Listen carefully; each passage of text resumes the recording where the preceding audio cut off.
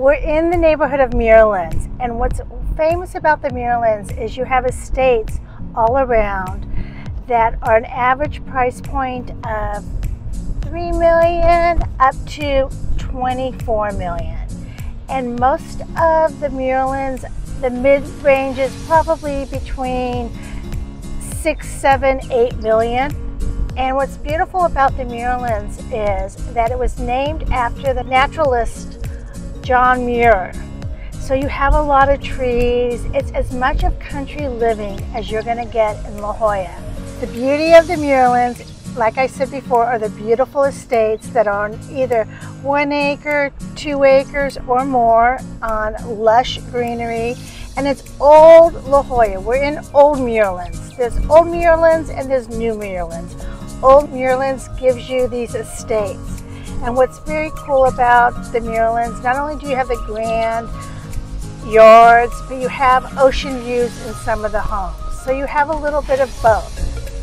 It's country living at its best. As you see, there are no sidewalks. And here's a house that was just recently built, gorgeous Cape Cod. And as we turn around, you can see the ocean.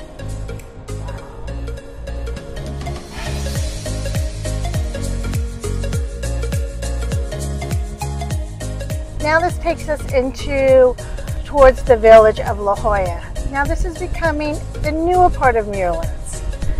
And um, you can see that the houses are closer together.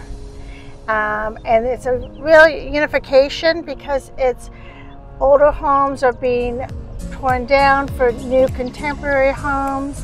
Some side of the street, you cannot go up a second story because you'll block the view. So there's really tight CC and Rs. CC&Rs are covenant conditions and restrictions in a neighborhood. Some do not have, allow you to have a second story.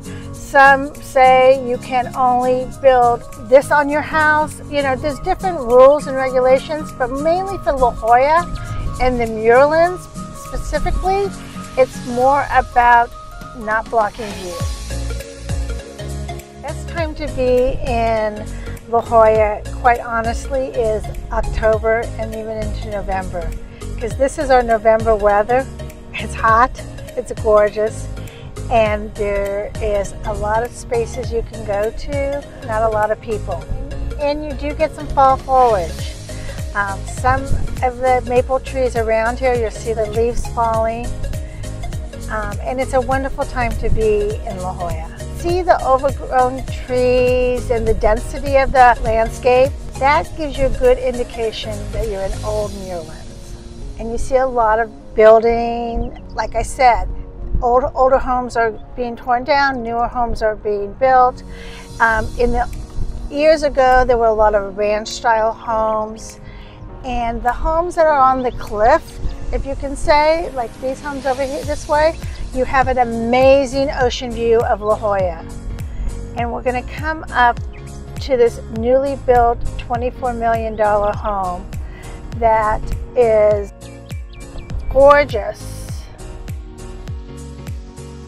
See, there's a lot of character and charm in the Muirlands.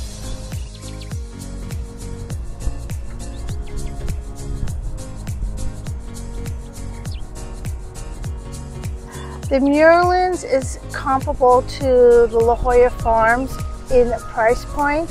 The difference with the Muirlands is you're close to the village of La Jolla where you can walk. We're going to take you on a street called Inspiration, and I love that name because it's so inspiring. Again, you have the ranch style homes, you have estates, you have homes. There's a house on Inspiration that's $26 million and most of them are built by famous architects. And then if you look straight ahead, you're gonna see the views. So we're gonna wrap around with the Muirlands and you, that's where you get the touch of the views and the touch of country living. But if country living is what you want, with no sidewalks, big estates, and availability to have an ocean view, La Jolla Muirlands is exactly the neighborhood that you want to live in because that offers everything.